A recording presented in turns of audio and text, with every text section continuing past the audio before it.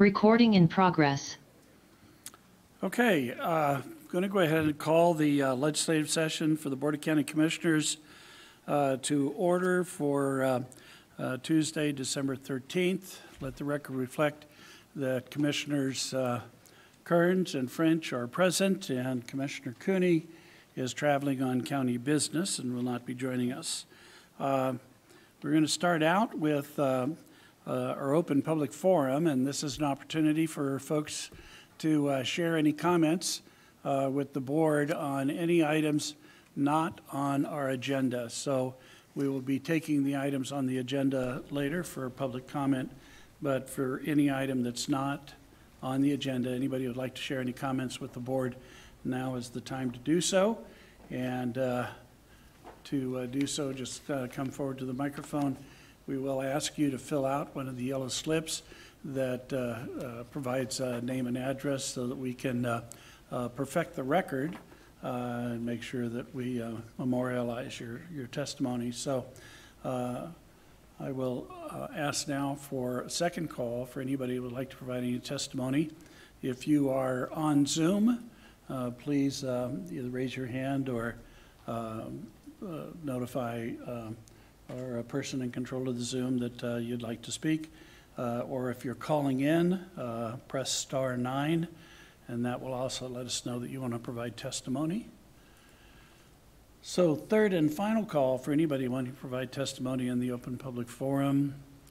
Not seeing anybody come forward, we will close the forum and uh, get on with our agenda. First item is our consent agenda, and uh, we are making a couple uh, uh, changes to the consent agenda for presentation purposes um, or or other uh, business. So 4D, D like in Delta, will be taken separately. I'm sorry, 2D, thank you. And, um, and then 2W will be taken separately. And uh, then, I think that's it for the consent agenda. So um, let's go ahead and have, we're going to have a staff presentation. No. Uh, So let's go ahead and take a motion on those items uh, that we can take on the consent agenda. Hey, Commissioner French, I move that we approve item two, items two A through items two CC, excluding items two D and two W as presented on today's consent agenda. I will second the motion. Any discussion? Seeing none, all in favor, please indicate by saying aye. Aye. Let the record reflect the motion passes unanimously. Then, uh, getting to item 2D, uh, I will read the item. Uh, This is in the matter of calling an election within Spokane County to be held on Tuesday, November 7th, 2023, and submitting to electors a proposition to impose a two-tenths of 1% sales and use tax equal throughout Spokane County as authorized by RCW 82.14.450. The proceeds to be used by the county, cities, and towns within Spokane County for criminal justice, public safety, and behavioral health purposes. So, do we have a motion? Mr. Chair, I move to approve, or Commissioner French, I move to approve item two D as presented on today's agenda. I will second the motion and look for discussion. Yeah, um, you know, I'll, I'll, I'll kick this off. So we, we've had, we, we've had several presentations about this, um, uh, several recently, um, many of them over the last decade. Um, this, uh, proposal will go to a vote of the, of the people, and I will be straight up front that one of the items that we intend to include in the, the revenue generated from this is a new jail or cor- community corrections facility.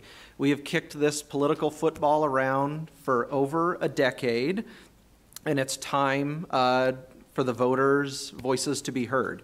Um, you know, we we have uh, we we have have crunched so much data. We have we have just about any piece of data you could ask for when it comes to a jail, a community corrections center. We have all of that. We have data leading up to a pandemic. We have data through a pandemic. We have data after a pandemic.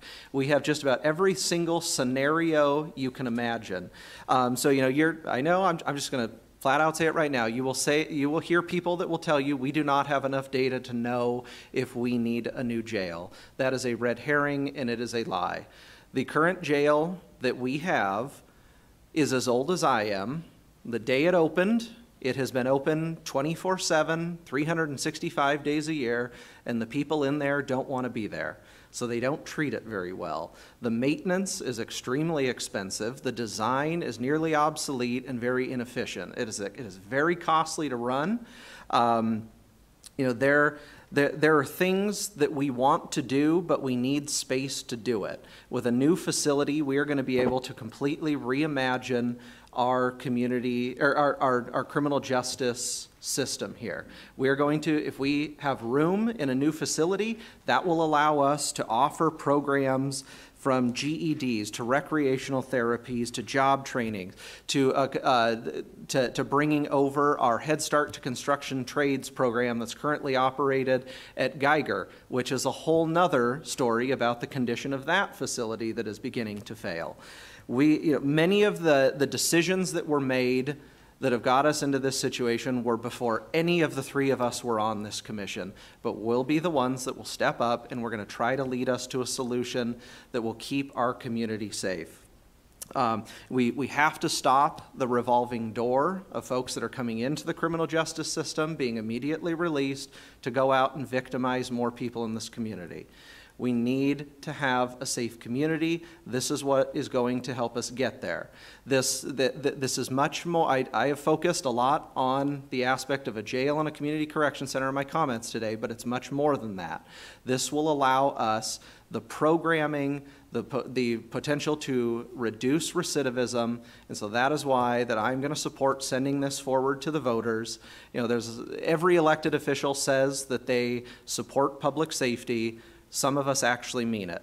And today, I'm going to say that this needs to go to the voters, and they need to tell us the direction we're headed.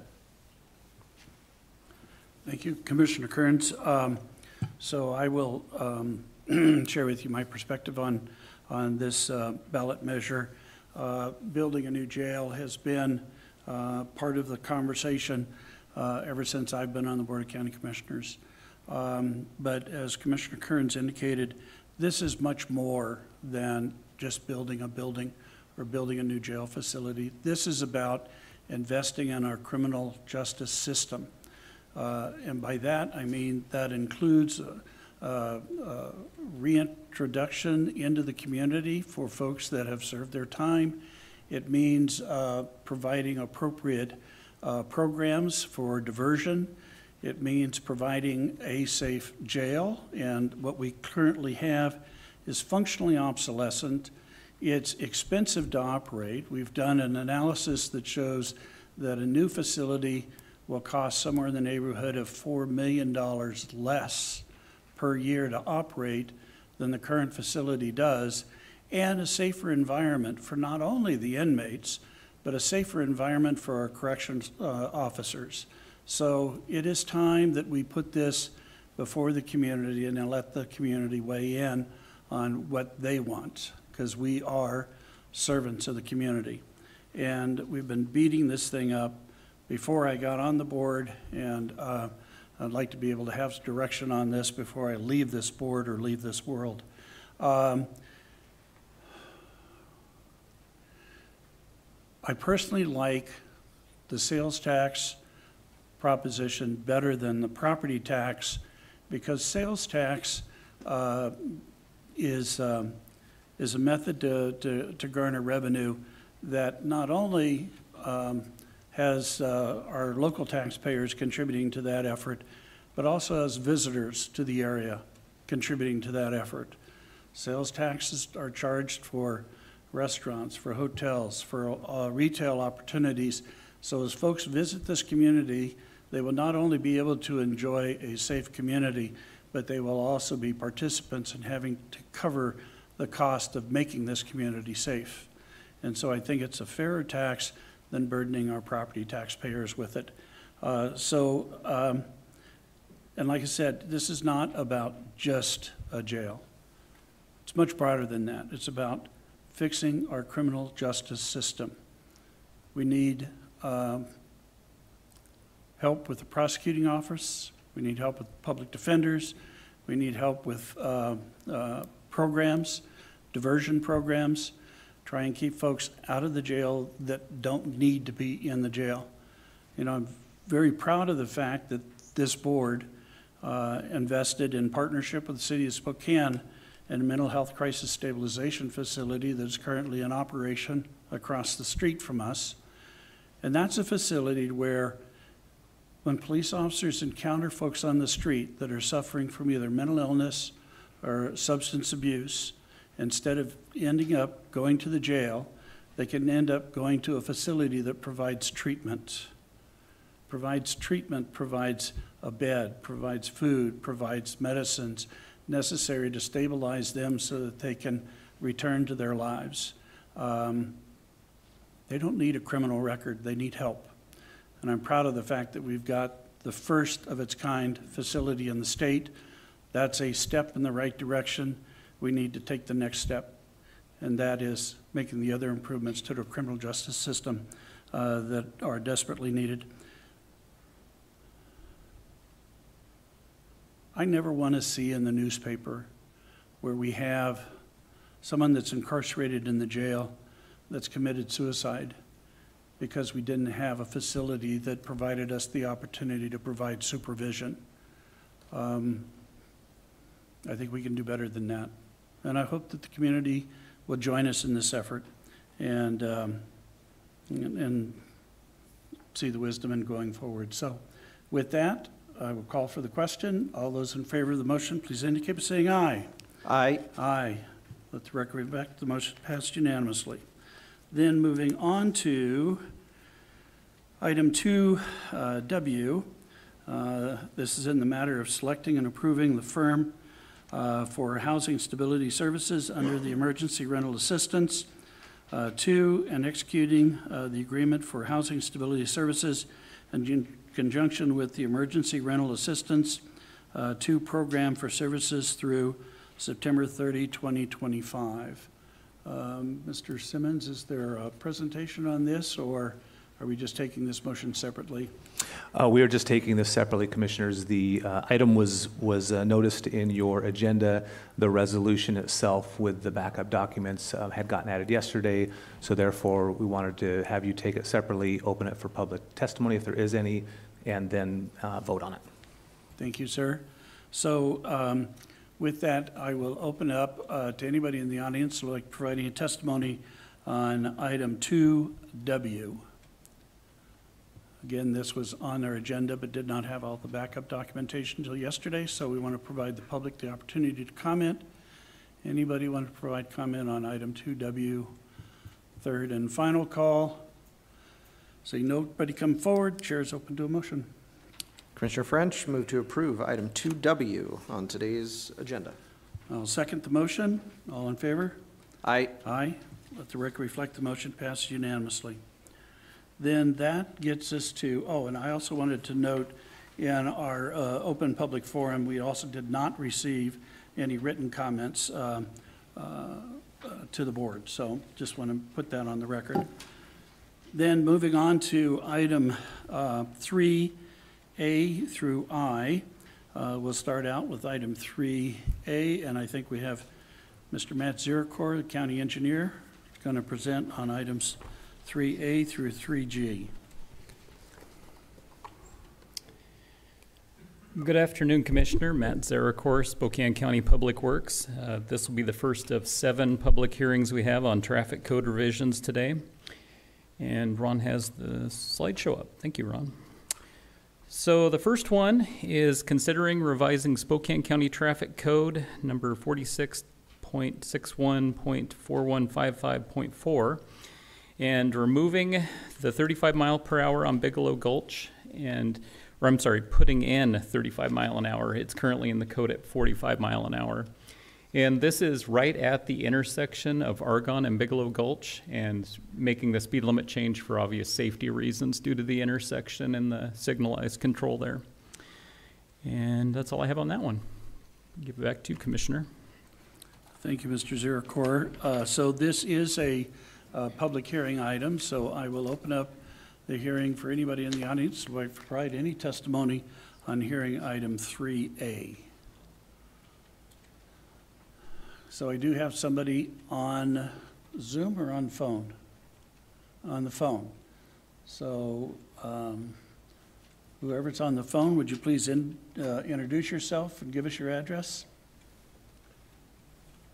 Hello, am I on Yes, audio there? yes, go ahead. My name is Richard Burnett. My name is Richard Burnett. My address is 9800 East Bigelow Gulch Road, Spokane, Washington, 99217. Um, I- think there might be some confusion here because uh, as the intersection is currently signed, there is a 35 mile an hour sign uh, west of the fire station, and it goes clear down to the intersection.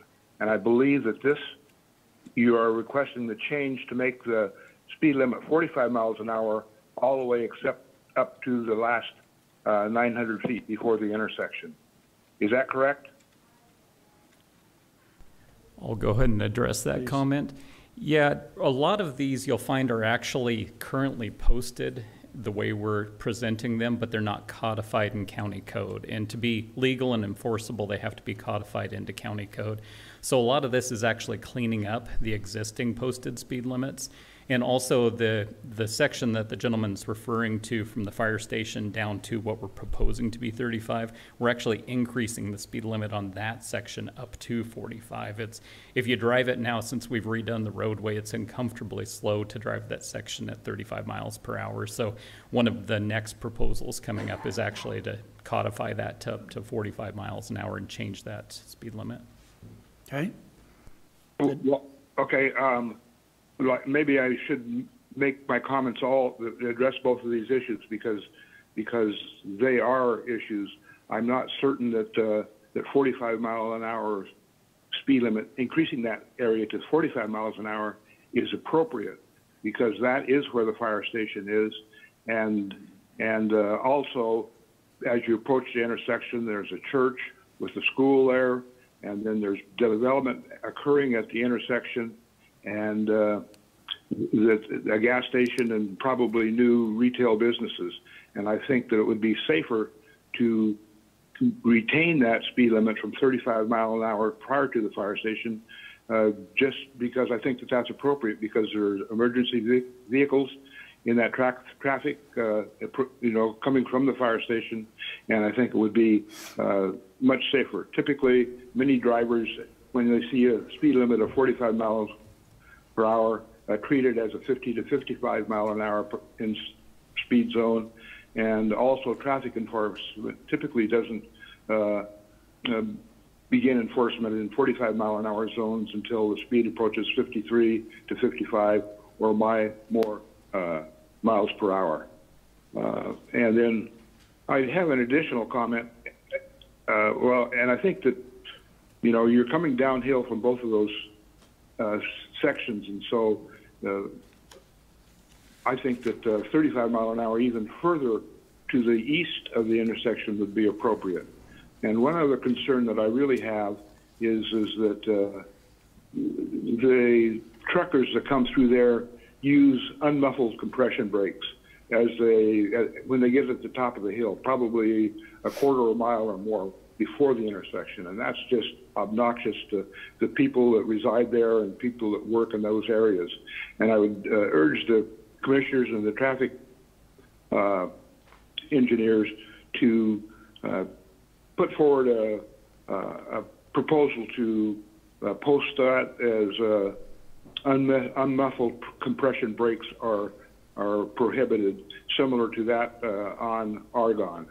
Like I say, I, the some of the biggest offenders of the un, uh, the compression brakes are the trucks that are carrying uh, materials for the road construction in the area, and it's just obnoxious there. You can't even uh, stand next to a person uh, 10, 10 feet away from you uh, and 30 or 40 feet from the road and understand a conversation as these trucks go by.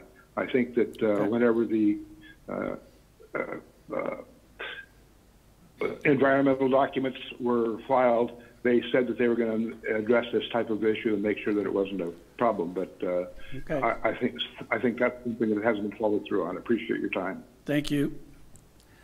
Uh, So, uh, second call for anybody else like to provide any testimony on hearing item 3A. Third and final call.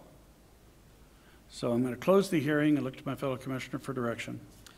Commissioner French, I move to approve public hearing item 3A as presented by staff. I'll second the motion. Any discussion? All those in favor, please indicate by saying aye. Aye. Aye. Let the record reflect the motion passed unanimously. Then moving on to 3B, uh, consider revising Spokane County Traffic Code number 46.61.2002. Mr. uh, Zarecor.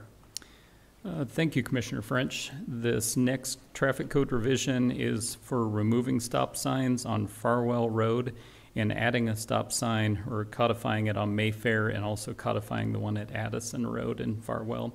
You can see the exhibit here. This location, if you're familiar with it, is in North Spokane. It's at the Wandermere Shopping Center.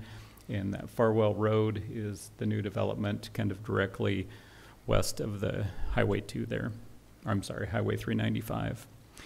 And this really is just, Mayfair and Farwell used to be a four-way stop. It doesn't need to be anymore. This is the location of our old corral pit, if you're familiar with that. And that pit no longer is active. It is being redeveloped, and there's likely to be additional traffic revisions at the time that they finish their development and build their new roads in there. So this is just cleaning up what we have for now, knowing that there are likely future changes to come. Okay, thank you. Any questions? Very good. So uh, this also is a hearing item, so I'll open up the hearing uh, for item 3B. If anybody would like to provide any testimony, you do have three minutes to uh, uh, share your comments with the board. Uh, Do we have anybody on the line? So uh, second call for anybody wanting to provide testimony on item 3B. Third and final call. Seeing nobody come forward, I'll close the hearing, look to my fellow commissioner for direction. Commissioner French, I move to approve item 3B as presented on today's agenda. I'll second the motion. Any discussion? Seeing none, all of those favors, please indicate by saying aye. Aye. Let the record reflect the motion passed unanimously. Then moving on to 3C, like in Charlie, consider revising Spokane County Traffic Code Number 46.61.4155.2 and others, Mr. Zarecor. Thank you, Commissioner French. The next four slides are going to be regarding traffic speed revisions along the Bigelow Gulch corridor.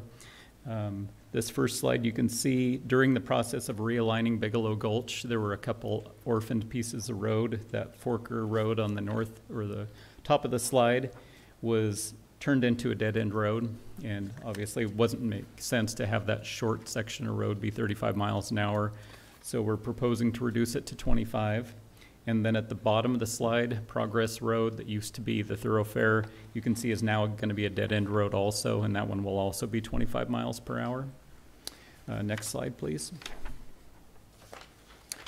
This is the Forker interchange with Bigelow Gulch, and this was built a number of years ago, but we're, again, cleaning up county code and codifying that this will be a 25 mile an hour interchange, and that's due to obvious reasons. The geometrics require pretty low speeds to navigate the interchange. Uh, Next slide, please. This is the one we were talking about earlier, eh, that we're going to actually increase the speed limit on this section of Bigelow Gulch to 45 miles per hour. Again, it's just, if you drive it now with the new alignment and the new vertical curve, it seems very, very slow at 35 miles per hour. We did a speed study on this section of road. Average driver speed was actually 50 miles per hour, and national guidance encourages you to keep the posted speed close to what people want to drive the road at, as long as it's safe. We've also done intersection analysis at all the intersections to make sure there's adequate sight distance. So as a result of that, we're recommending increasing the speed limit on that section to 45. Uh, Next slide, please. And the last in this grouping of traffic code revisions is for the new alignment of Bigelow Gulch Phase 6, the portion in the unincorporated county. You can see it sweeping down through there, and that's going to be 45 miles per hour also. And this is a new section of road, so it needs to be added to the code. And I'll turn it back to you, Commissioner French.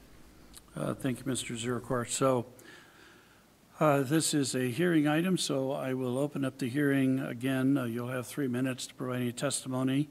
Uh, If you choose on hearing item 3C, like in charter, as presented by Mr. Zarecor, if there anybody in the audience like to provide any testimony on 3C, anybody on the phone or Zoom?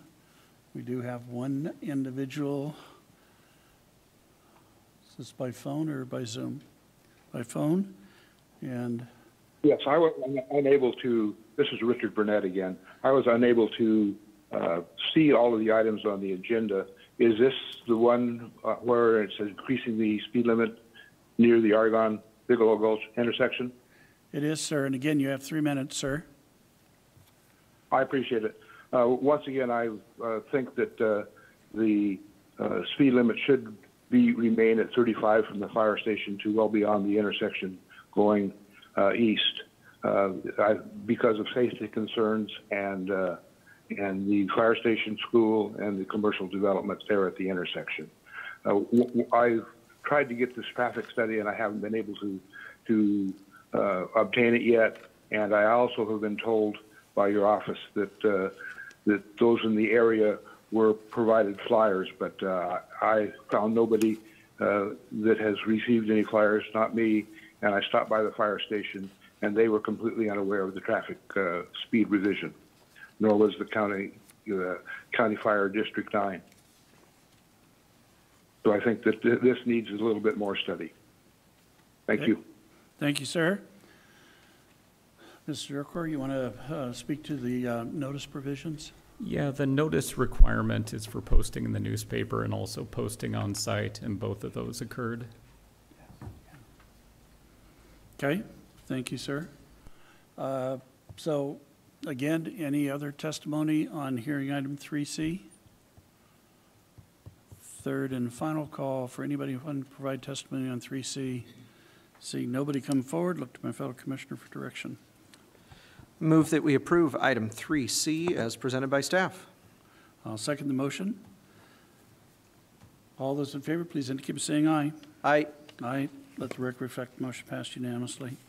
Then moving on to 3D, like in Delta, consider revising Spokane County Traffic Code Number 46.61.2002, add a stop on uh, Nyland Road Y for Spokane County Public Works Department. Mr. Zarecor. Thank you, Commissioner French. This next traffic code revision, you can see here, is out on the east side of Liberty Lake, and it's an uncontrolled intersection currently, and it's one of these Y intersections that over time we work to eliminate, but currently this one exists. And it was brought to our attention that adequate sight distance does not exist for this to be an uncontrolled intersection for the folks traveling northbound on Nayland. They can't see the lakeside road traffic coming from behind them. So we're proposing put a stop sign on Neeland to stop that traffic to make it safe. Any questions? Very good. So this is also a public hearing item, and I will open it up for anybody in the audience to provide any testimony on hearing item number three, D like in Delta.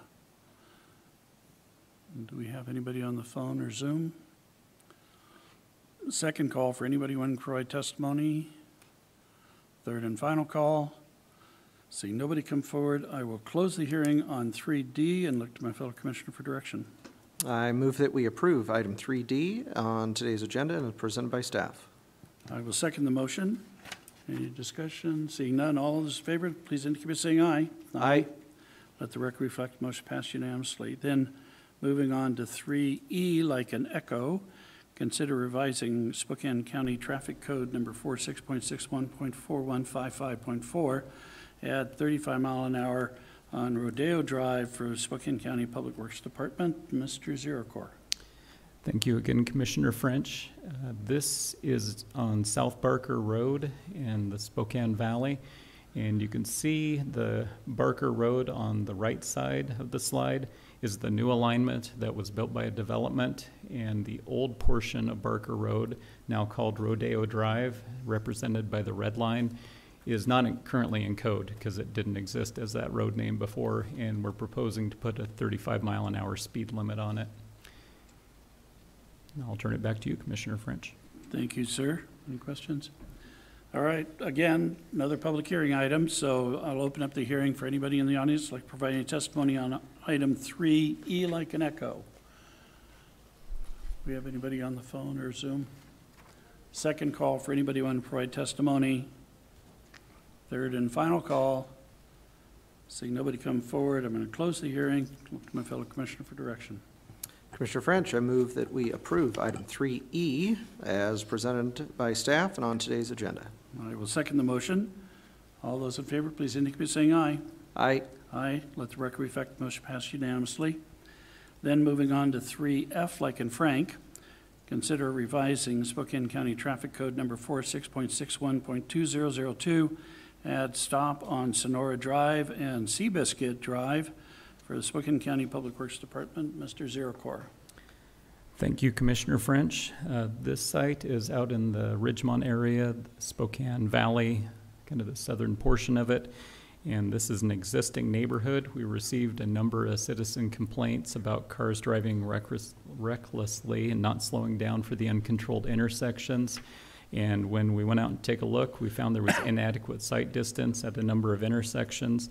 And to alleviate that concern for safety, we're going to add some stop signs if this is approved.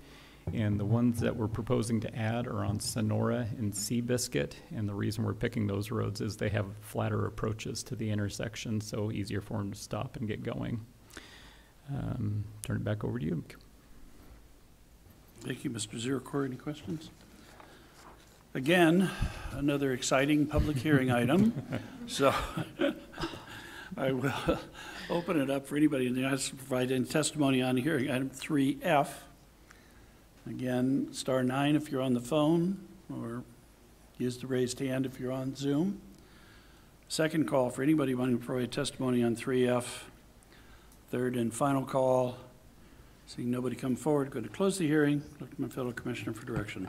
Commissioner French, I move that we approve item 3F as presented by staff and on today's agenda. I will second the motion. Uh, All those in favor, please indicate by saying aye. Aye. Aye. Let the record reflect the motion passed unanimously.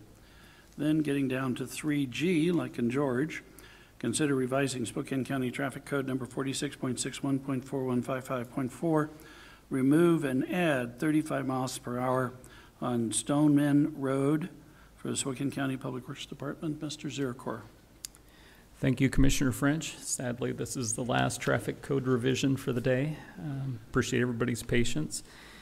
On this section of Stoneman, we currently have it posted going from 35 to 45 on the very, it'd be the right side of the slide. And it doesn't make a lot of sense because we're having people increase speed right before you get to these two sharp curves. So it just made sense to us to post it down to 35 miles per hour before you get to the sharp curves, and then we'll increase it after that. Okay? Any questions? Very good. So this is another hearing item, so I will open it up for anybody in the audience like to provide testimony on hearing item G. And we do have one individual by phone or by Zoom? By Zoom. Is that Ms. Larson? So, um, Ms. Larson, uh, you have the floor for three minutes. Uh, Please feel free to share. Mine- Yeah, sorry. Go ahead. Go My name is Esther Larson, and I live uh, in the unincorporated area of Spokane County. I use this particular road when I um, travel with my grandchildren, and I wasn't really understanding from the description in the agenda packet what exactly was happening. And I still don't quite understand where is the 45 mile per hour going to begin?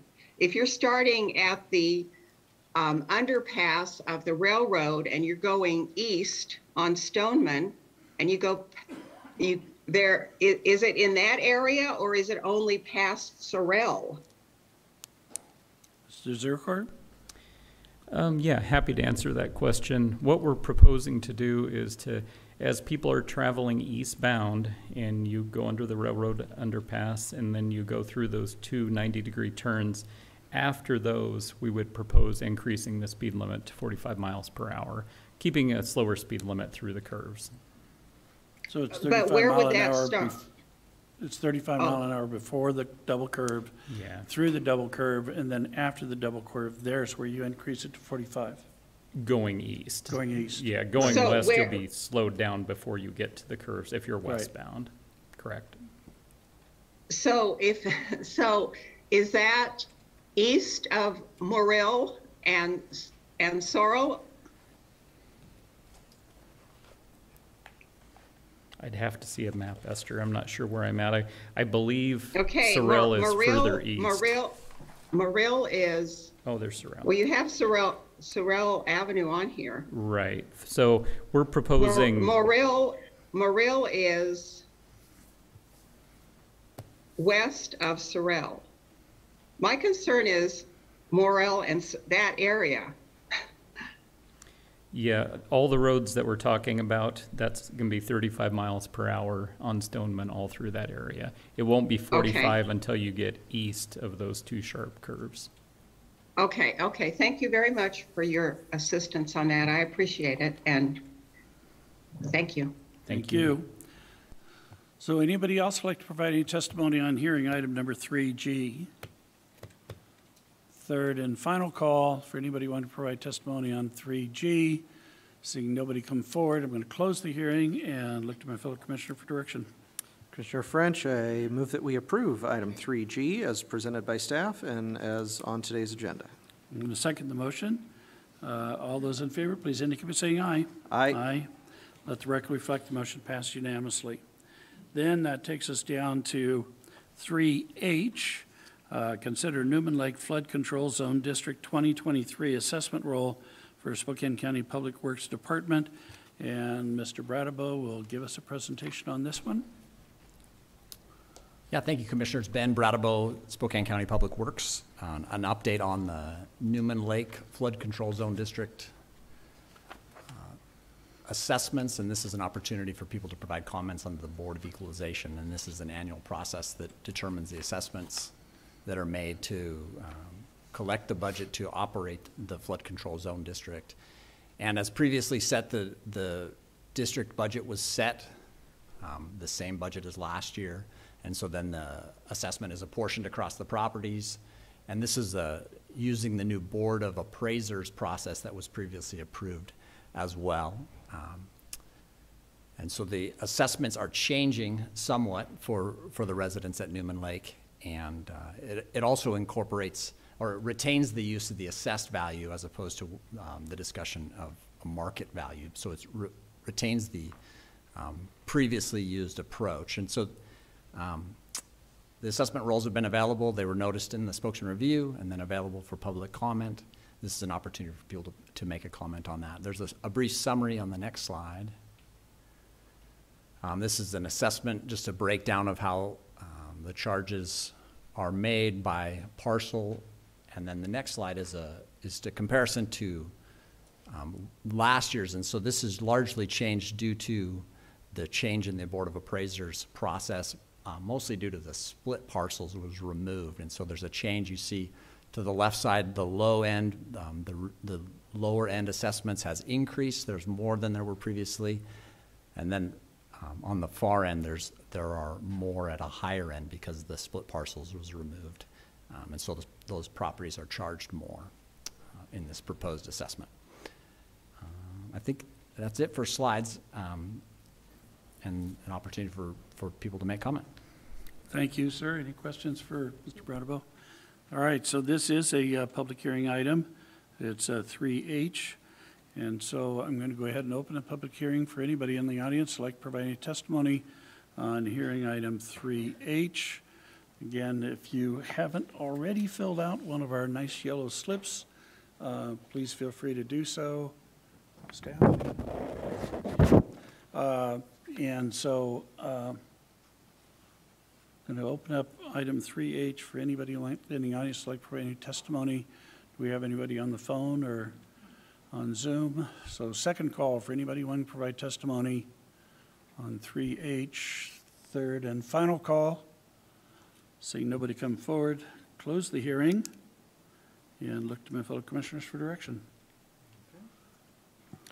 Commissioner French, I move that we approve item 3H, consider the Newman Lake Flood Control District 2023 assessment rolls for Spokane County Public Works Department.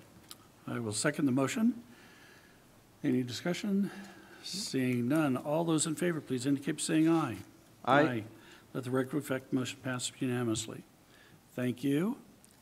And then, um, item 3I uh, is a final hearing to consider uh, the following budget appropriations. Uh, Tessa, you're going to lead us through this.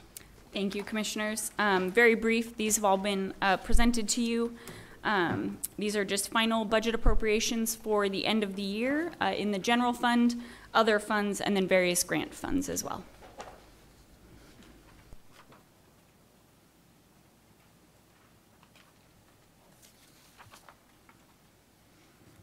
That's it?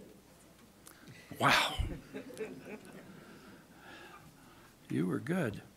Uh, So this is a hearing item, so anybody would like to provide any uh, comments on uh, budget amendments uh, proposed for the 2023 budget, your, or 22 budget, thank you. Uh, This is the time to uh, come forward and share your comments. So second call for anybody who to provide comments. Third and final call.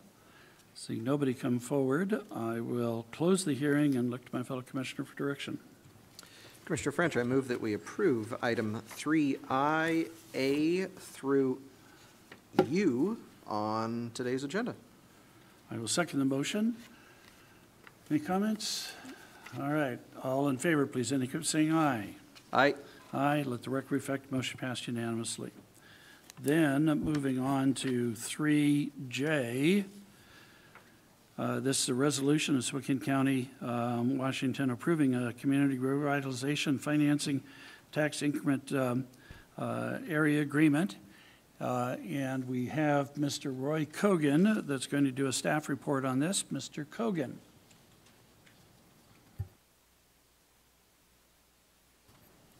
So you are on mute, Mr. Koegen, so the only one that can hear you is you. Uh,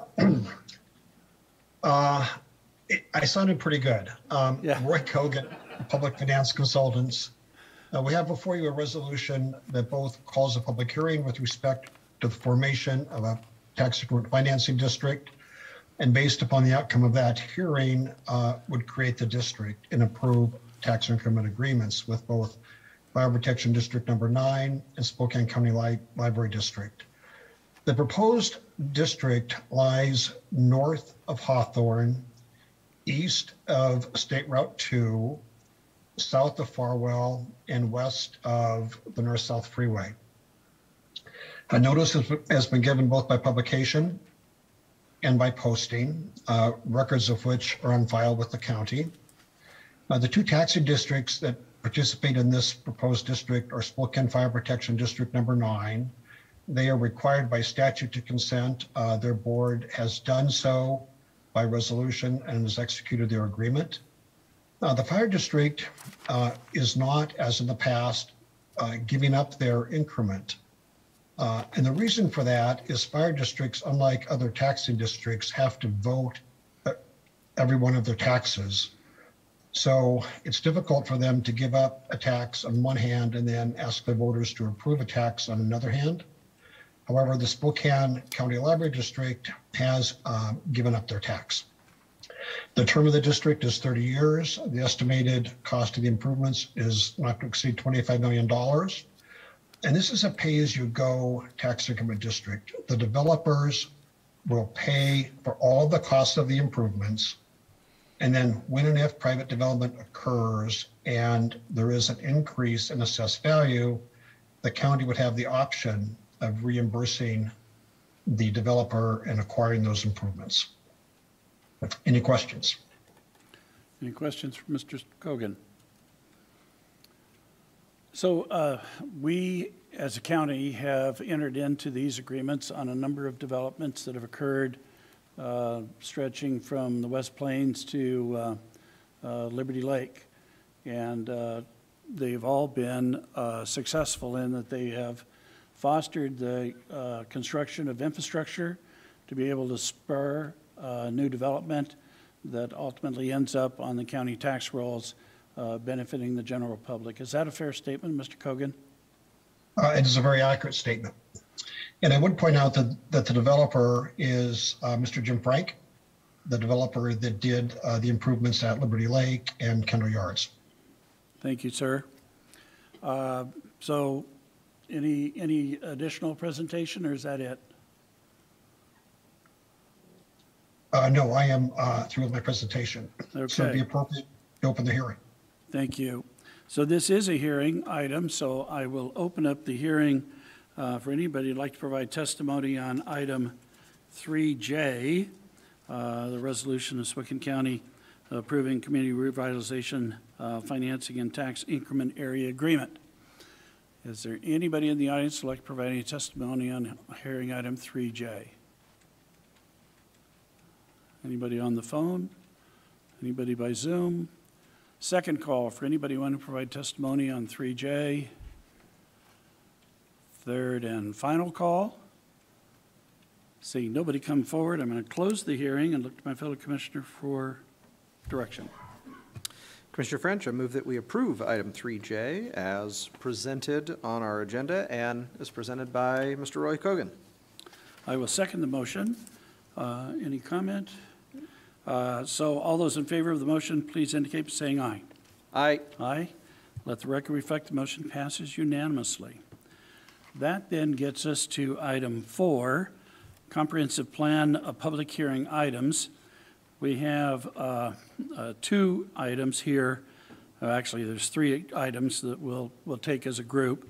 Uh, 4A is considered the uh, Steering Committee of Elected Officials' recommendation on countywide planning policies.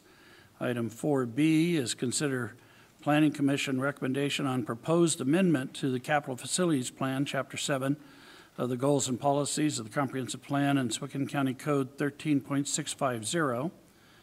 And do you want me to go ahead and list uh, item number five, or? Okay, so let's just deal with 4A and 4B right now then. Um, And we do have uh, written testimony on 4A and 4B uh, uh, by Tim uh, Treven- Trevenovich. Trevenovich. He's not here as I bastardized his name, so it's, I think I'm going to get away with that one. Uh, He represents the, he's the attorney for FutureWise, and then Esther Larson. Uh, So those are, are uh, written public testimony. So with that, Mr. Chesney, the floor is yours. Commissioner French, Commissioner Kerns, thank you. Uh, Ron, next slide, please. We are going to uh, go through the first two of these um, sequentially. Commissioners, you as participants in the Steering Committee of Elected Officials are quite familiar with this first one. Uh, but However, it hasn't uh, had a chance for a public hearing outside of the steering committee. So we're going to run through briefly how these things work. You can see on the first slide what the steering committee is created of, uh, it- and it is a GMA function. Uh, It's also a creature of the county board in that it makes recommendations to you. Next slide. It is made up of uh, 15 uh, voting members. Uh, The commissioners, City of Spokane, the Valley, each of, the- most of the small towns have one, and then the smaller towns share a representative, and then there are four uh, non-voting members, including one at-large. Next.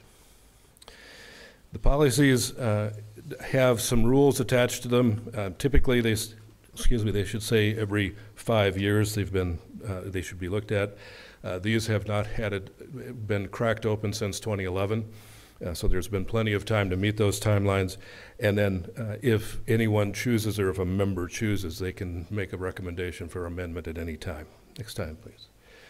Here's how we got here, uh, starting in January, uh, leading to uh, the star at the very end of the arrow. Uh, Today is, is the action of the county commissioners to make a recommendation or make a decision based on the recommendation of the steering committee. Next slide. Uh, As we said, they're recommend, they're required by the GMA, and they're a framework that guides the comprehensive planning of the county and all of the constituent communities within it. So they do provide that foundation. Uh, There are nine of these. We will go through them briefly. Next, please. First are the, probably the more or the more uh, well-known uh, policy topic one, urban growth areas. These are the areas outside of the incorporated cities where uh, growth happens with the anticipation that those would be annexation candidates for those same communities.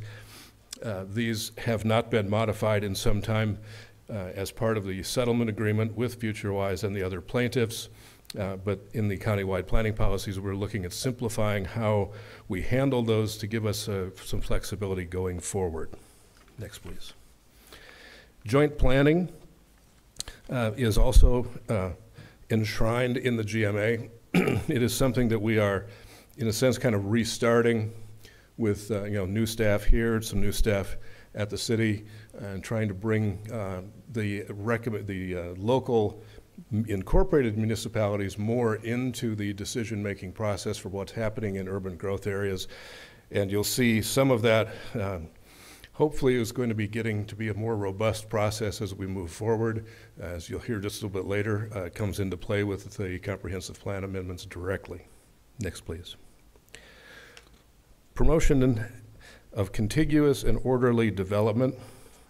Uh, This is uh, kind of obvious what it says. It's, it- the whole point of GMA is to provide guidance for growth that is affordable from the communities and does not uh, relate to sprawl or things that ultimately become a very expensive thing to maintain. One of the major changes in the countywide planning policies this time is we've removed levels of service and put those into the county's uh, capital facilities plan where they're better linked to actual dollars. Policy four, parks and open space. Uh, As you can see here, this is not one of those originally required by GMA, but was added by our predecessors some time ago. Uh, All of the uh, steering committee members felt strongly about keeping it, and so there's been very little change to that. Policy five, transportation. uh, This one took quite a lot of uh, detail statements that really didn't seem to be policy statements and pulled those out in favor of uh, helping to define the roles of STA, SRTC, and the county nom- uh, nominally in terms of uh, transportation partnerships that move along. Six is siting of uh, capital facilities. Uh, Took out redundancies here, made some streamlined changes, no other significant changes here. On seven, this is one that the steering committee uh, deferred to uh, staff for 23, chiefly to seek guidance from Commerce and other departments based on recent legislation that was passed that talks about affordable housing and how it is uh, to be distributed. So this one will come back for your review probably in the uh, 23 year. Eight, economic development, again, pretty straightforward, uh, cleaned up uh, redundant language, made it more contemporary, uh, keeps the strength of uh, us as an economic development partnership in place. And the last slides, uh, fiscal impacts, we had no recommended changes on this. And a policy topic 10 was introduced, again, as part of a legislative effort to involve tribes in countywide planning. This will be something else that will require some legislative guidance as we create uh, a policy statement for your future consideration. With that, uh, the next slide simply restates that the steering committee recommends these to you unanimously uh, for your adoption. And if you like to, uh, if you have any questions, I'm open to them, or I can go on to the CFP. Any questions? Okay, so let's go ahead and uh, continue on with CFP. Very good. Uh, Next slide, please. Uh, Capital facilities, you can see here, they're, uh, they are the infrastructure needed to support growth. Uh, Roads, bridges, sewer, water, those pieces. Uh, The f- capital facilities plan is simply the document that memorializes those with budget and financing commitments. It is slightly different than a capital improvements program in that GMA requires the capital facilities plan to be linked with our comprehensive plan to guide growth, and it is uh, more directed toward that, that, uh, that outcome. And you can see here this most recent decision from the courts uh, how is defining a capital facility in a much more broad sense than we had considered it in the past. That has made the exercise of uh, amending and correcting some of the failures of the CFP much more difficult. Uh, as counsel has uh, told us in previous work sessions, we continue to seek legislative and uh, Supreme Court relief to try to better make these definitions work for us. You can see here, these are representative of the county-owned facilities that we're talking about, the seven topics. Next slide. And then there are these four that are the special districts. And again, uh, just as a kind of a reminder, the special districts, uh, the county doesn't control them, and yet we are responsible to try to manage that in a capital facilities program, both in terms of their, their actual facility, but their growth, uh, their financing plans for growth. And as you imagine, this is this has to be a better collaborative effort because the uh, the county has, it, since they're not departments, the county can't compel them to participate, and most of these do not, in and of themselves, plan using the GMA framework. So, this is this is where things do get a little bit tricky. Next slide, please. Most of this is based on growth, and you can see here, the growth numbers from existing and projected uh, population growth in the county. These numbers you will recognize as uh, from uh, the uh, OFM, um, so they're uh, supported numbers that reflect uh, an agreed upon growth rate. The projections and the estimates for these are lower than the county's actual growth, and so you will see some discrepancy as we move forward with comprehensive planning because in the comprehensive planning, we're, we're looking at actual, the real numbers for 21, 22. But for the planning purposes of the CFP, uh, and remember, this is, this is a document that's being amended from a 2017 version in a 2020 version. So we're using numbers more contemporary to that time frame. Next slide, please. Here's where you can start to see the levels of service being defined in this area. Uh, you can see for um, you know, system capacity for wastewater, for example, 200 gallons a day. Uh, transportation levels of service are well understood by uh, all of us, and, and, certainly my colleague Matt, uh, who just here. And then law enforcement, and you'll notice on the left, this includes the uh, detention and diversion beds that were recently created. And that was a term agreed to uh, by the settlement partners to add that in as a level of service. Next slide, please. Here's where we get a little more uh, out of control of what we're doing, but uh, to some degree, we have used existing data from schools if they were uh, able to provide that for us. We used some national data, uh, some well, some more uh, established standards to try to bring these numbers together. Fire districts, um, as you can probably guess, trying to shoehorn a fire district into something that has a capacity is not a well-defined term. We chose to rely on their insurance ratings, which have to take their ability to respond, what kind of apparatus they use, how, kind of training they use, and use that as a benchmark standard. Uh, next, please. And while this is hard to read, uh, it's more of an example. This is the six-year version of that by uh, major element, and also you can see in the second column by a, uh, a variety of funding sources that are used for these. Uh, as uh, you know, the first column, 2023, is pretty much the only guaranteed number. That's the budget that uh, you've worked through for this year. The others are projections from various departments on what they're going to need based on typical funding sources that it can be relied on. Next. The 20-year projections, uh, are, uh, as, as with all kind of crystal ball gazing, they are sketchier.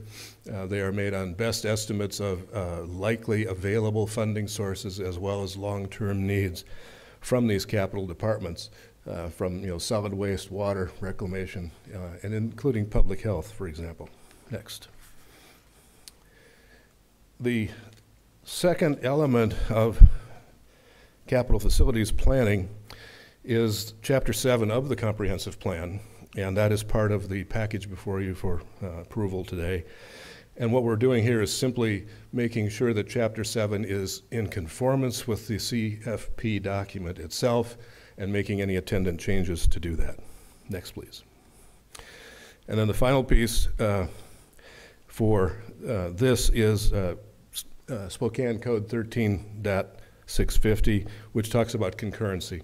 And concurrency is a GMA term that relates to when uh, certain things have to be available for development. With direct concurrency, you can see these are things that must be in place at the time that a, essentially a building permit is applied for. Indirect is more on the planning side. We've made some recommended changes here uh, that uh, for fire protection, schools, and stormwater, adding them into direct concurrency means those will be looked at more, more uh, connected to actual projects when they come along. And we've also dropped, uh, dropped those from the indirect side so they're better tied to, as I said, tied to building permits. So, uh, we've got a number of comments that came to us uh, from the public. We've included a, a list of them here, uh, mostly for kind of a quick review. Uh, some of these came from uh, the group FutureWise, some of them came from the Department of Commerce. These and any comments are also posted on the web uh, in the pages where these are available for other review. Uh, we have addressed most of the comments that have been asked of us, uh, sometimes not always to the degree of detail that, that people are demanding. Again, you can see that forecast of future needs for schools.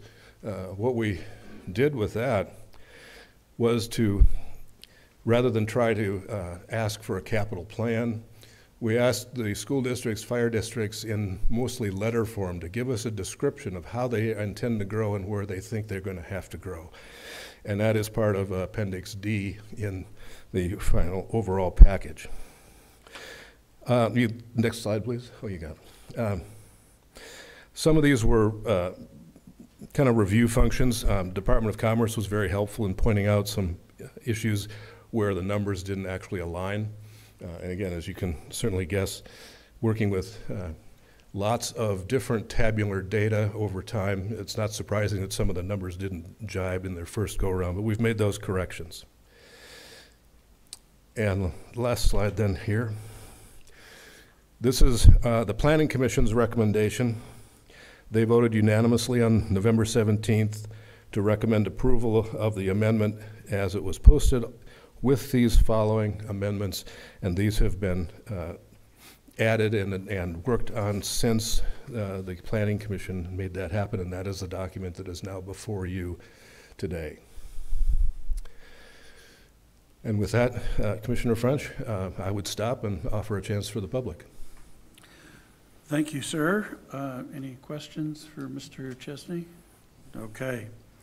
So uh, as uh, Mr. Chesney has indicated and is in our agenda, this is a uh, public hearing uh, topic, so I am going to uh, allow testimony on both 4A and 4B at the same time. And before starting, I will reiterate again that we do have a written testimony provided by uh, Trim, Tim Trohimovich from FutureWise and Esther Larson on uh, 4A and 4B.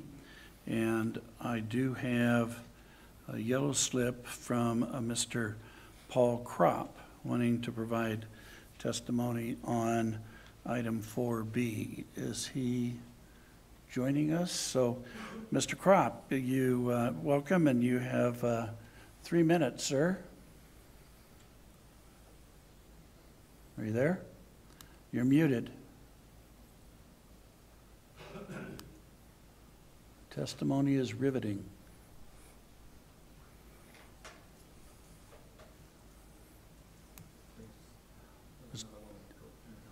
Okay, we will try and come back to Mr. Kropp. Uh, So, uh, is there anybody else?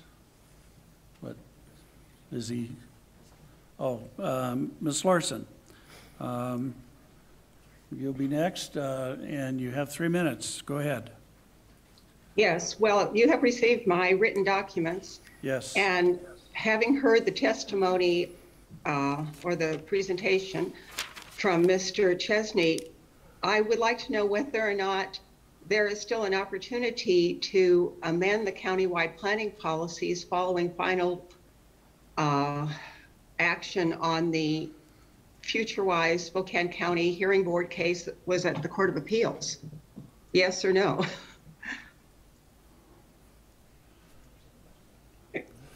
So Um, I, I'm, I'm- I'm asking the question. I'm asking the question. The, the action, I'm not sure I understand the question directly. The action that the board is being asked to consider today is to adopt an amendment to the countywide planning policies, straightforward, uh, you know, a vote on that.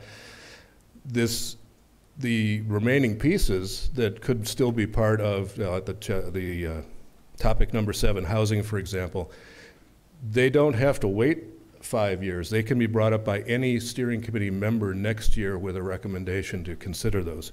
So there's, there's sort of a living side of this document right now, but this action is, is simply a straightforward uh, amendment request in front of the commissioners. It's not related to any, any litigation. Has the litigation at the Court of Appeals been finalized? Or is it still pending? The mandate has not been issued in the Court of Appeals case, and we'll be filing an appeal to the Supreme Court. So until the mandate issues from that is still pending. Okay, thank you. The reason I asked that question is I raised that issue at uh, the public hearing in October on the countywide planning policies, and Mr. French asked Mr. Chesney whether or not uh, there would be an ability to have amendments to the countywide planning policies after that particular case had been finalized, and Mr. Chesney said, yes, there would be. So I understand that is still the case. Is that true? Yes, that's still the case. Thank you. Okay, my other two comments have to do with the fact that the countywide planning policies in two areas are not using words of the statute. And I have mentioned this several times, and there's not been any change, no, nor has there been any response to me regarding those two items. And I believe that the words that are actually in the statute, in the Growth Management Act, as law should be used, not other words. LAMIRDs are not local areas. LAMIRDs are limited areas.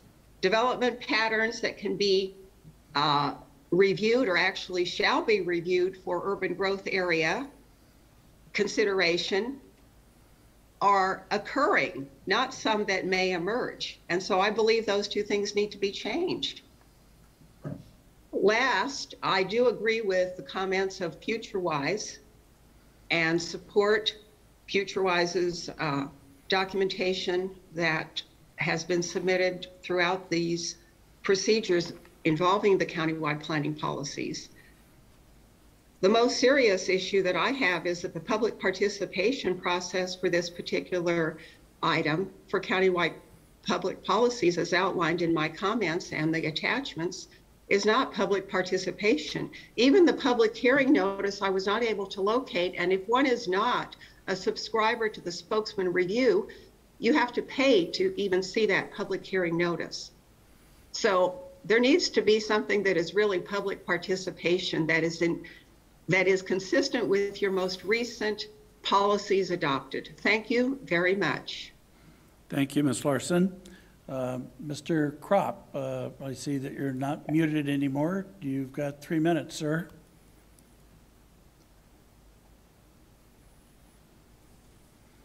Are you there, Mr. Kropp?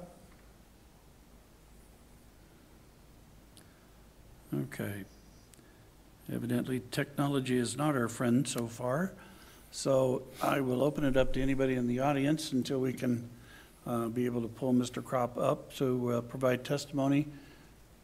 Uh, Mr. Greg Fig. Oh, good afternoon, uh, Commissioners. Uh, Just a quick question. Um, I- In an email I had with uh, Mr. Chesney, I was just wondering if those WashDOT comments got included. Um, Yes, Greg, they did. Thank you, nothing further, but thank you. Thank you. So I will open it up to anybody in the audience like providing testimony on hearing items 4A or 4B as presented today. And Mr. Paul Kropp, are you able to join us? Okay. Second call for anybody wanting to provide testimony on 4A or 4B.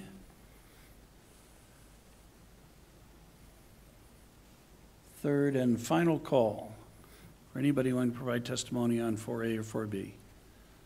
All right, seeing nobody come forward, um, I will close the hearing on 4A and 4B.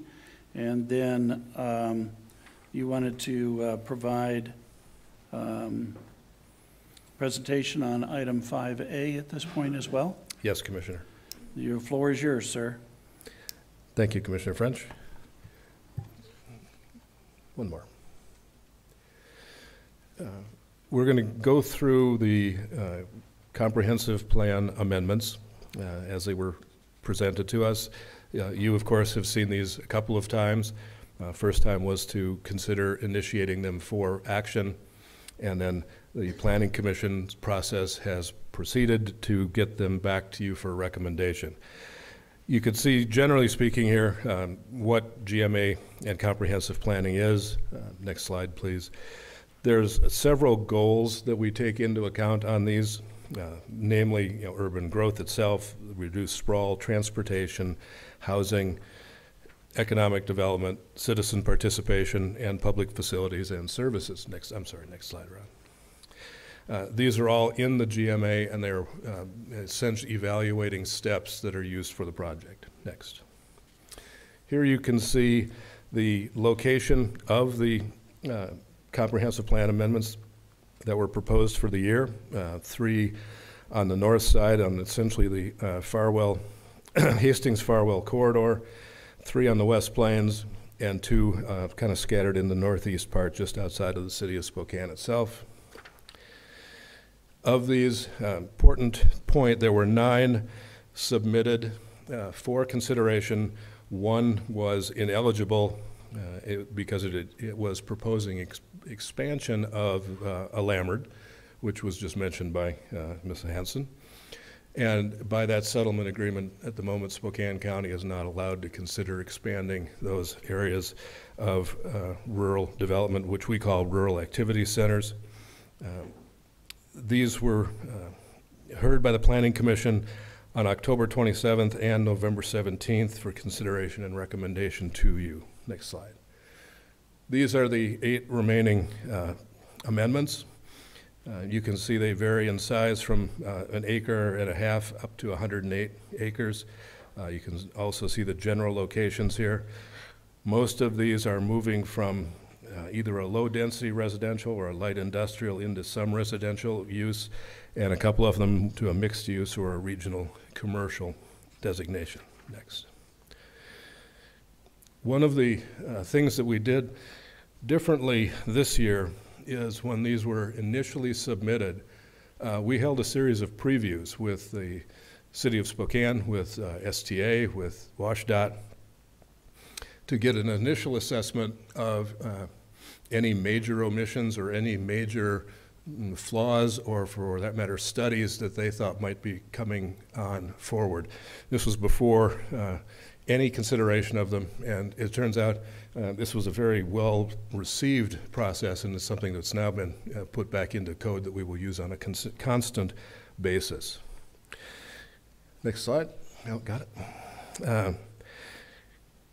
The formal part, you've, you've certainly seen before, um, getting those comments from reviewing agencies that we work with.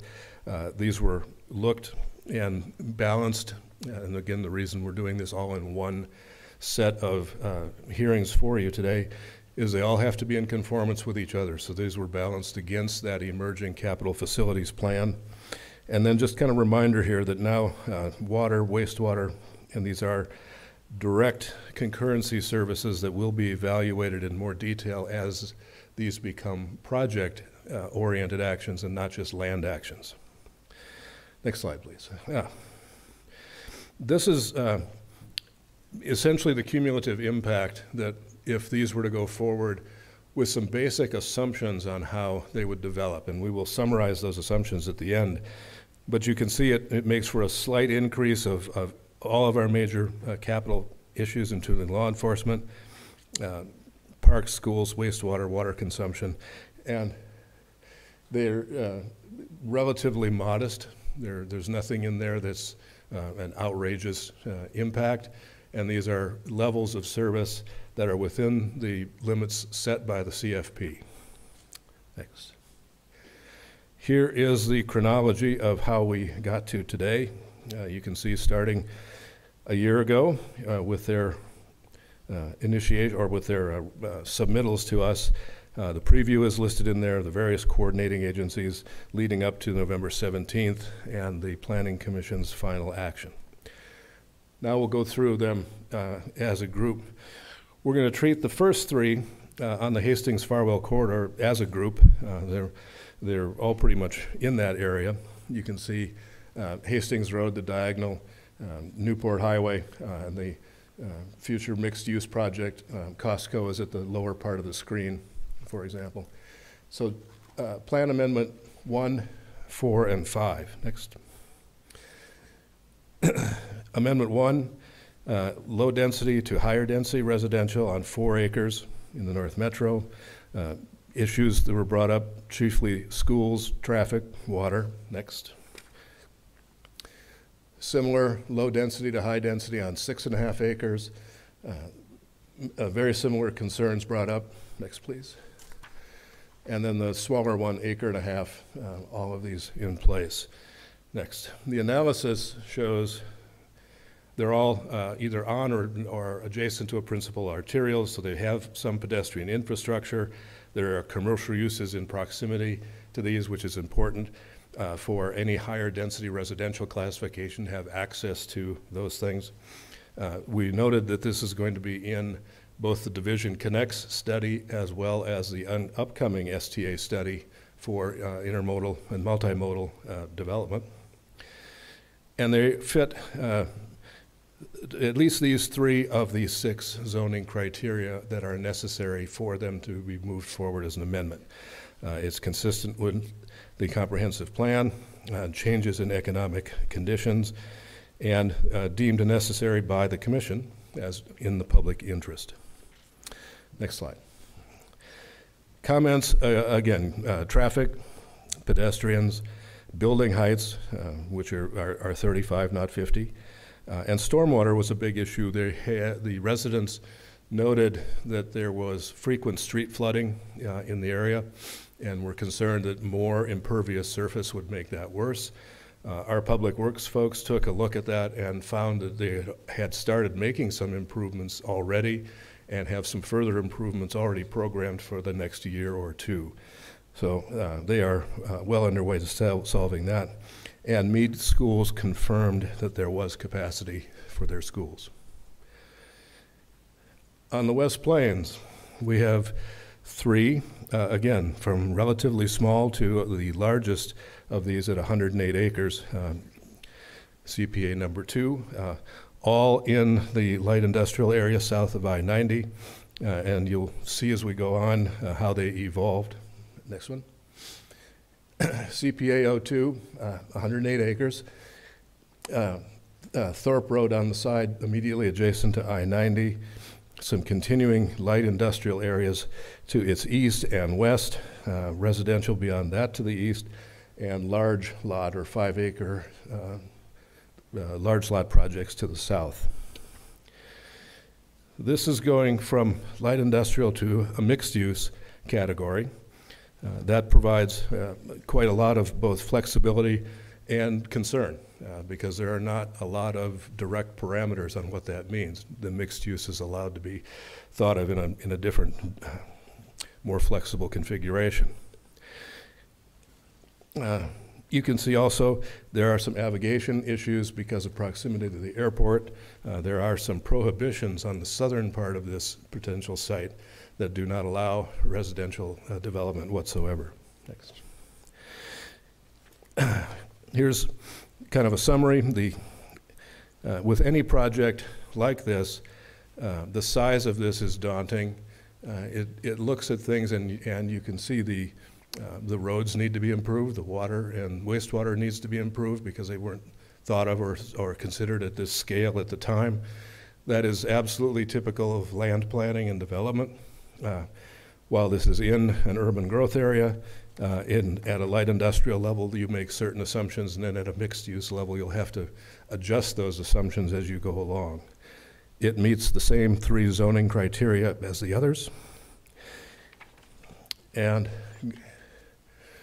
these will be a little harder to see on the screen, but we've summarized uh, the uh, public comments that we've received, and notably, uh, right on top, concerns by the adjacent business owners that this would uh, significantly uh, hinder their operation by providing uh, housing in an area that was not originally planned for it, and therefore the presumption is the housing and the residents would be complaining about industrial noise, vibration, light, uh, and so on. Our response to that is it is in a mixed use category, you really have more flexibility on how you can design and, and mitigate those issues. Now, we, we say that advisedly because there is no development plan. And one of the things that uh, others have considered on this is, is whether or not there should be additional guidance in our plan documents for mixed use that, uh, that uh, suggest you have to provide a set of uh, operating issues or some more detail on how that mixed use is being planned. The, there was a suggestion of a regulatory taking, uh, and that was in the sense that if a residential, if a truly residential use was uh, adopted next to this and the business, a business needed to expand, some of the residential setback requirements do come into effect. However, um, our code while residential is part of mixed use, our code and our plan don't actually recognize, don't consider mixed use as a residential zone. That said, uh, the takings is generally considered if you lose some or all of your economic use of the land. In this case, that really doesn't happen uh, because the, the practical part is the, if the setbacks were even imposed, you can still use those lands for parking, for stormwater, uh, for circulation, and notably on industrial um, construction, fire districts really prefer having four-sided or more or full-size, full-side access to these buildings. So you typically even leave open a lane all the way around them to begin with. So that, that, that doesn't really play into account. The criteria for mixed use uh, were suggested had not been met we, we suggested the uh, development does serve the public interest uh, because it does continue to bring potential housing and jobs into the uh, category. And uh, something else, the, the land was zoned in 94 in its current configuration.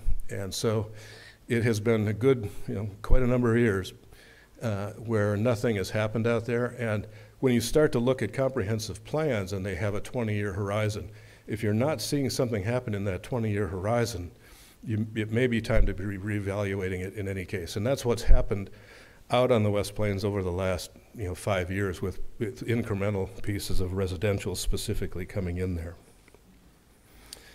Uh, the idea that this is spot zoning is uh, not uh, supported uh, out of several reasons. One, it's, it's quite a large uh, parcel in and of itself.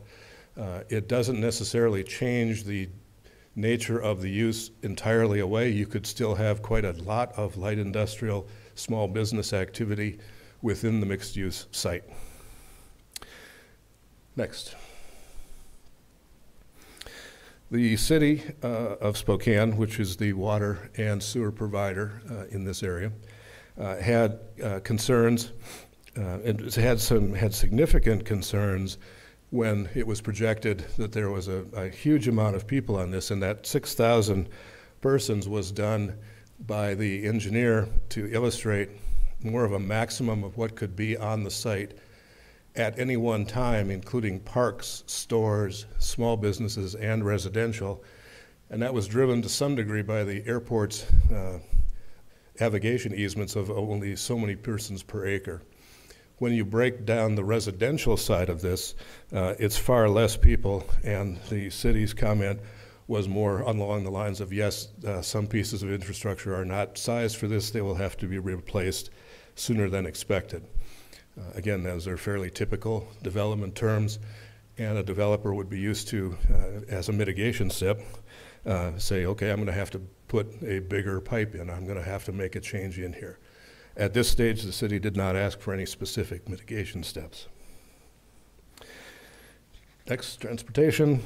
Uh, this was a, a, coordinated group that got together, uh, which was actually very effective, and they looked at, at how uh, the basic issues of the project could go forward and reached a mitigated de- determination of mitigated circumstance. I'm sorry, mitigated mitigated determination, and those mitigations are in the staff report.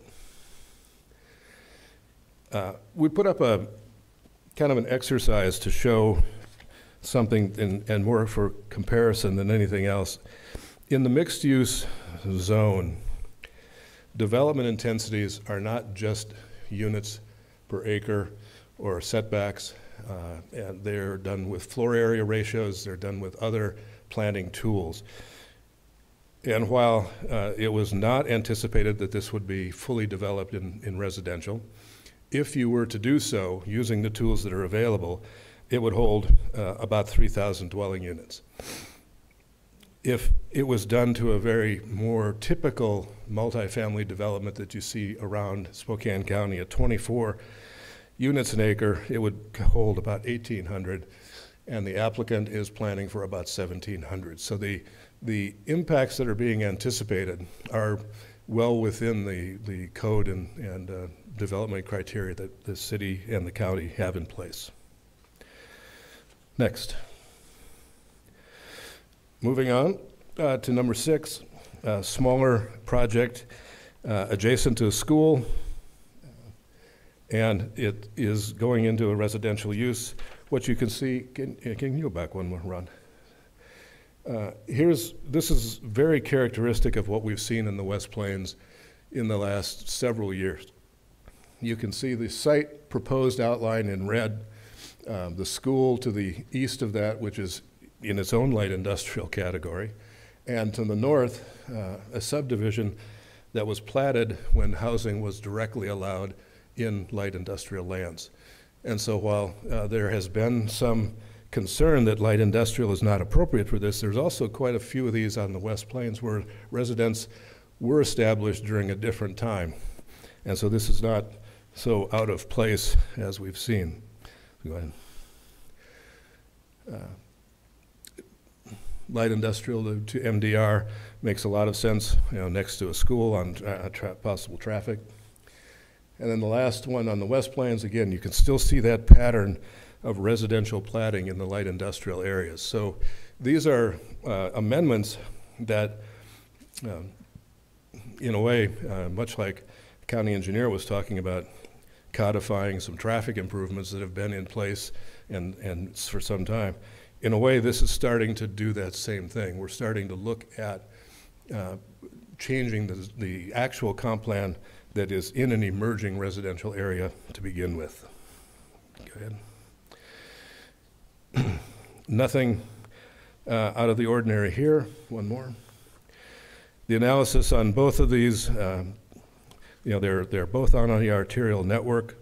Uh, they've got commercial uses nearby. The traffic were acceptable. Cheney Schools indicated there was capacity, and they meet three of the zoning criteria. Next. Two more to go. Uh, Number eight is in Hillyard. You'll recognize this as the city's water tank on Valley Springs Road going up to the Beacon Hill project just off side of the industrial parts of Hillyard in the city. Uh, It was proposed that this small part of light industrial land really was not feasible for industrial use, but better suited to the residential use that is existing and planned to the south. Uh, This is a split project. The applicant controls the north and south parcel. Uh, The city of Spokane owns the middle parcel. The city uh, did not uh, participate in the application. Uh, They simply said they would not object to it with certain conditions that you'll see here in a moment. Next. Three acres, medium-density residential, and the city wants to be able to protect its water tank by that lot. Go on. Uh, It it meets these three zoning criteria. Uh, It does have uh, some emerging residential to the south. One more. And Spokane's comments are generally related to uh, development impacts on that project if it were to uh, develop and wanting to protect, protect their interest in their middle parcel uh, chiefly as, uh, I think you'd have to see- assume as an overflow route if something were to happen to that uh, re- reservoir tank up above it on the hill. Next. Uh, CPA 7 is in the heavy industrial area north of the former uh, Hanson property, south of Bonneville Power. The North Spokane corridor is just to the east of this. Uh, The city of Spokane is off to the west a little bit. This was proposed to go to regional commercial from heavy industry. Uh, It's 45 acres. Um, Next, please. You can see some of the issues here. In parts, it's pretty straightforward, uh, but the concern uh, on the following slide talks about uh, should industrial, should heavy industrial land be converted to some other use? Um, This board uh, initiated this with the sense of, uh, we have not seen any investment in there in a long time. Someone is willing to invest in it, and they're fitting, filling our needs, we should consider it. Uh, It was processed in that capacity. Uh, It, the, the economy and some things changed during that process, and the uh, Planning Commission voted to deny this particular project. Go on, please. The comments were here uh, that it would be lost, and uh, as we've noted in the briefing, uh, the, there, a new property owner for the Hanson property came forward at the public hearing and announced they were uh, reestablishing a steel fabrication and manufacturing business on that site and uh, have purchased the property and pushed forward. Wrapping up, uh, the cumulative impacts, these are the assumptions we used to reach uh, what you'll see again repeated on the following slide. But it's a range of, of units per acre, of capacities. They're pretty standard based on development patterns that exist in Spokane County. Go ahead. And this is just a refresher slide uh, before, that these amendments on, based on the assumptions on that previous slide, uh, these amendments could provide as much as 2,000 units of housing for, you know, around 3,000 people uh, with the expected water uses. So, one more. Again, there's the pattern. And then the last slide uh, is the recommendation. The Planning Commission voted unanimously uh, on November 17th to recommend the approval of amendments 1, 2, 4, 5, 6, 8, and 9. Remember, Plan Amendment number 3 was not considered early on, and then the Plan Commission voted 5 to 1 to recommend denial of 07. Commissioner French, that is the presentation and summary of where we stand. Thank you, Mr. Chesney. Uh, Any questions for Mr. Chesney? Okay, so at this time, I will open up, oh, this is not a public hearing for, Correct. for these items. So um,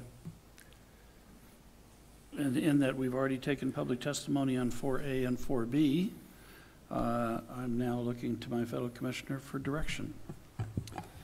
Commissioner French, I move that the board adopt the proposed amendments to the countywide planning policies, capital facilities plan, chapter seven of the comprehensive plan, Spokane County Code 13.650, and proposed concurrent amendments to the comprehensive plan and zoning maps for file numbers CPA one, four, five, six, eight, and nine, as presented by staff and, and in accordance with the recommendations of the Steering Committee of Elected Officials and Planning Commission. And we remand files CPA 02 and CPA 07 to the Planning Commission to be considered further during the 2023 Comprehensive Plan Amendment Cycle. Thank you. I will second the motion. Any additional comments? All right. So with that then, um, all those in favor of the motion, please indicate by saying aye. Aye. Aye. Let the record remote, let, let the record reflect the motion passes unanimously. Then, Then uh, Commissioner French, I move that the board directs staff to draft findings and conclusions consistent with the board's decision today to be signed at other than an open public meeting by the chair or a majority of the board before December 31st, 2022. I will second the motion. All those in favor, please indicate by saying aye. Aye. Aye. Let the record reflect the motion passes unanimously. Then uh, we do have uh, four by leave items for consideration of the board. Uh, I, by leave item number seven is a resolution to certify Spokane County Assessor uh, the amount of taxes levied in 2022 to be collected in 2023 upon the property in Spokane County for county purposes from the general fund, road fund, and conservation futures, adding certification language required by the Department of Revenue Property Tax Advisory, PTA, PTA 21.1.2021 to resolution number 22-0795. Look to my fellow commissioner for direction. Commissioner French, I move to approve by leave item number seven as you stated.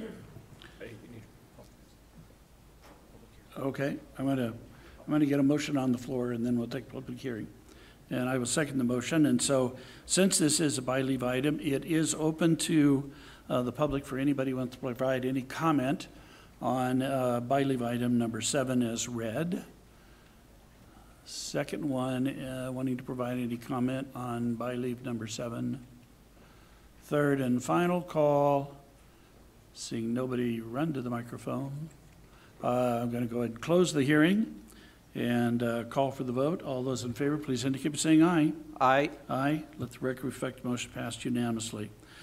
Then, by leave item number eight, resolution in the matter of an appointment to the Spokane County Citizens Commission on salaries to fill the vacancy created by the end of term of the organized labor representative.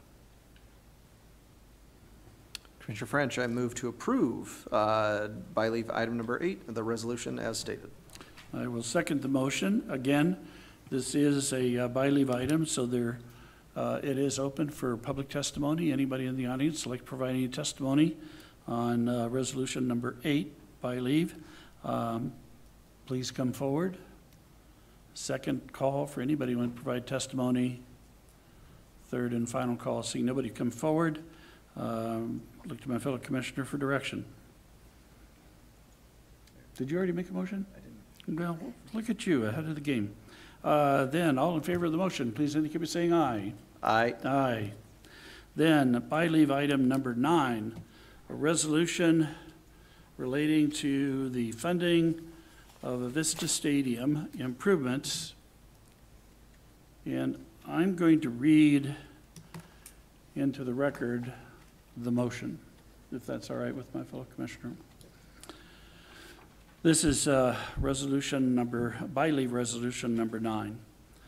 Spokane County commits to invest up to $8 million toward the renovations of Avista Stadium in accordance with the requirements of the Major League Baseball and pre-identified spectator improvements as identified by the Spokane Indians ownership. The county commitment is a dollar-for-dollar match to the community's investment, not excluding, or excluding uh, state capital funds. This commitment to the Spokane Indians ownership is contingent upon a successful lease negotiation with the Spokane Indians.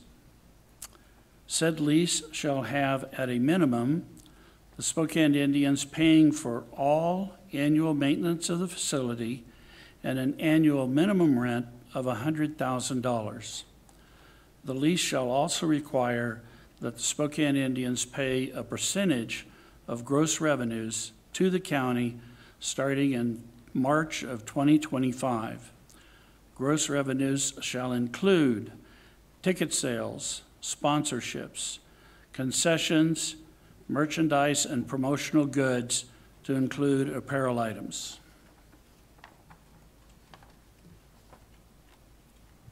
So, uh, Commissioner French, I will make a motion um, to reflect the statement that you just read.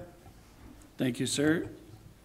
Got a motion and a sec, or, well, you're going to make the motion, I'll second the motion. So we've got a motion and a second. Uh, Again, this is a by-leave item, so anybody in the audience would would like to provide any testimony on the motion before the board, this is the time to come forward. Second call for anybody wanting to provide testimony. Third and final call for anybody wanting to provide testimony. I will close the um, uh, testimony and uh, look to my fellow commissioners. You would like to, would you like to provide any comment on this? So I will. Um, As everybody, well, as, as a lot of folks are aware, uh, the Major League Baseball uh, has uh, uh, changed its structure and changed requirements or increased requirements on local communities to be able to continue to have a minor league baseball team located within their community. And um, as a result of that uh, change, uh, Spokane Indians are confronted with um, uh, the challenge of investing $22 million to improvements to the Vista Stadium. Uh, Those improvements uh, include improvements to meet the minimum requirements for uh, Major League Baseball, uh, but then also, in this situation, include uh, amenities for spectators to make the uh, facility uh, more uh, customer-friendly, if you will. Uh, The funds that are being identified in this are coming from the sale of two assets the county previously owned. One of those assets was Spokane Raceway out in the West Plains, and the other asset that's been disposed of was um, um, the Eighth Avenue office building. Uh, The total revenue generated from those two sales came to approximately $8.6 million. 8 million of that uh, is being proposed uh, for uh, reinvestment into Avista Stadium. So this investment does not require an increase in taxes to our taxpayers. It is merely disposing of assets that were underperforming and reinvesting those dollars into assets the county will continue to own and enjoy the uh, benefit of. So um, this motion is being put forward uh, so that the uh, Spokane Indians can go to the state legislature and um, request funding from the state to invest in this facility. I think the last number I heard was 5.8 million. And uh, then it puts the uh, burden for uh, collecting the rest of the revenue onto the community partners. So if, in fact, the community partners can raise the balance of the funding, um, and if uh, that uh, entails a one-to-one match from the county, if, for instance, the, the community can only raise $6 million, then that's all that the county is, is committing to fund is $6 million. Um, But if the community raises $10 million, the cap for the county is $8 million. Again, it's redeploying revenue from the sale of assets uh, to reinvest into an asset the county taxpayers own, and that's Avista Stadium. So that's the proposal before uh, the board. And um, did I already call for public testimony on this? So I will now open it up for anybody in the audience who'd like to provide any testimony on um, this resolution. Second call for anybody wanting to provide testimony on resolution number nine, third and final call. Seeing nobody come forward, I'll close the uh, testimony and uh, uh, ask all those in favor of the resolution, please indicate by saying aye. Aye. Opposed, nay. The ayes have it. Then the last by leave item we have, and appreciate that there's no cheering or applause for that, uh, is uh, uh, by leave item number 10. Uh, Yesterday, the Board of County Commissioners, uh, to include our two new commissioners, um, uh, did assignments, proposed assignments for boards and commissions for uh, 2023. Uh, This is something we do every year so that there is a clear understanding about which commissioners are going to sit on which boards uh, in the community.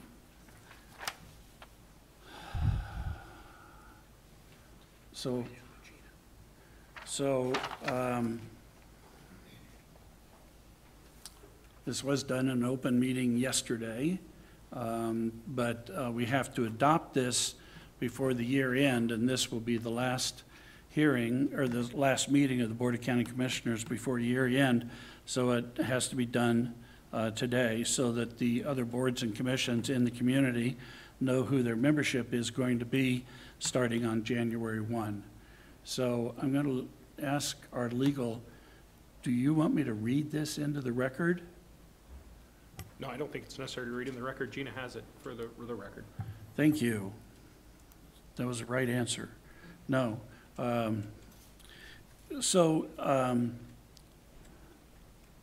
well, I- just for the benefit of the public, um, the committees that we're talking about are Aging and Long-Term Care of Eastern Washington, the Airport Board, Broadband PDA, Canvassing Board, uh, Fair Board, Finance Committee, Forward Fairchild, Growth Management Steering Committee, Greater Spokane Incorporated Board, Health Board, Hutton Settlement Advisor, Industrial Development Corporation, Launch Northwest, Law Enforcement and Firefighters Disability Board, Law Library, Lodging Tax Advisory Committee, Martin Hall Consortium, Medical Examiner Advisory Council, Northwest, or Northeast PDA, Priority Spokane, uh, Rail Consortium, Solid Waste Advisory Committee, Spokane County Campus Security Committee,